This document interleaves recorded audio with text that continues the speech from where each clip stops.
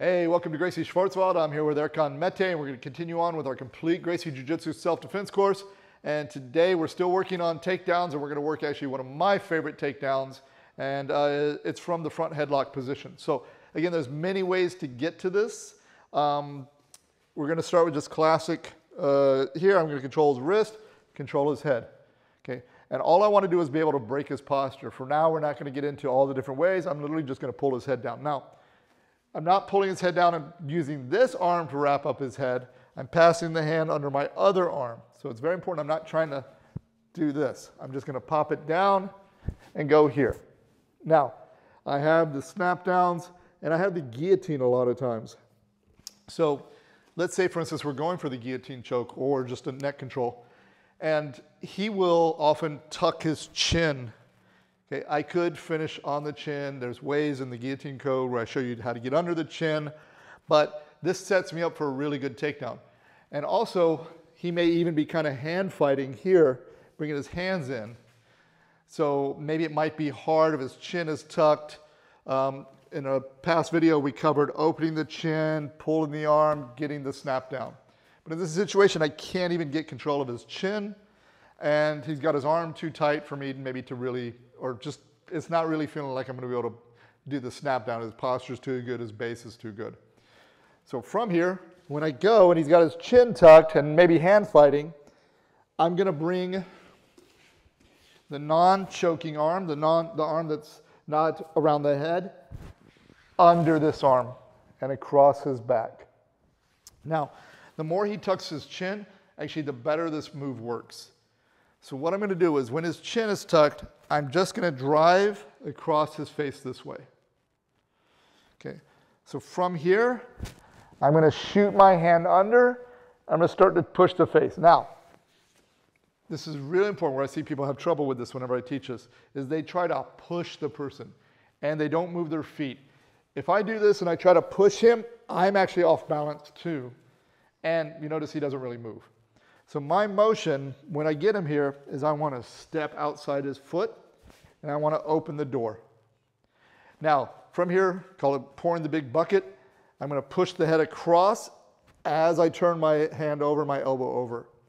So from here, I'm here, I'm trying, he's hand fighting, I can't get under the jaw. I go here, I step outside his leg, I turn, I open that gate. Very important, I'm not trying to do this. I need to open that gate and I go here. Okay. So I'm here, I snap him down, I'm trying to get it, I go, make sure I step outside the gate, and I really want to do this so I keep my balance. I push, I open, watch my left foot, and I come here. Okay. Now I'm not going to drop on the ground with him, I'm just going to stay standing. Um, if you have to, when I go here and I go and I open the gate and I come and I take them down, I'll go knee on belly. Okay, I don't like to drop into control for various reasons um, on this one. Now, a couple little details. If this leg is back, when I do this, it's a pretty easy sweep because he hasn't really got a lot of base here. So when I go, he's going to fall. But if that leg is forward, Sometimes I try to go, yeah, he's going to have the base, he can maybe step. So as I step out, again, outside his leg, I'm going to check the foot.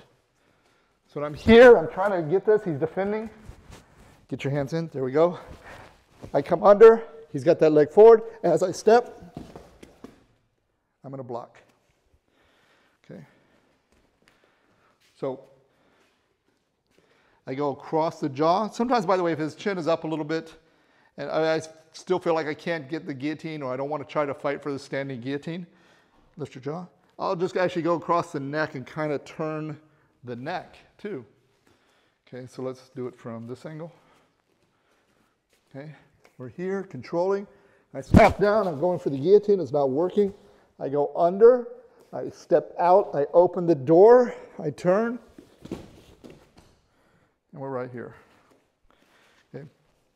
I've heard this kind of move variously called cow catcher, cement mixer, um, but it absolutely, especially when I'm tired one of my favorite moves because I do get to the front headlock position a lot.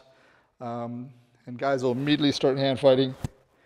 And this move is very, very easy uh, for me. And it's a good, uh, again, self-defense move. If the guy's coming in he's trying to grab me, I can come in, I can fight here, throwing my knees, everything here. And then we're here. Okay. So that is our cement mixer, cow catcher, um, front headlock, uh, twist takedown.